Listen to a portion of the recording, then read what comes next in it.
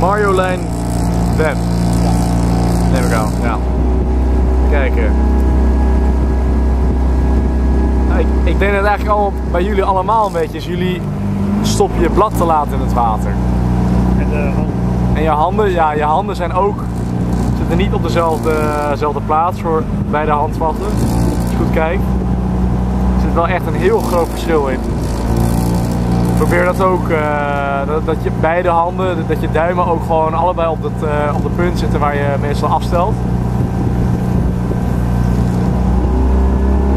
Je, vla, ja, je vlagt dus een klein beetje. Probeer dat ook eh, te verminderen door gewoon je bladen bij het, bij het opleiden iets minder ver boven het water te houden. Gewoon gelijk tak erin gaat.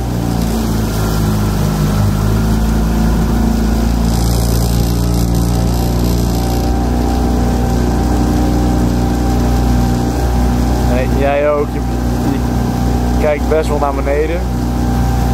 Probeer lekker je kin omhoog te houden. Dat helpt ook heel erg met balans.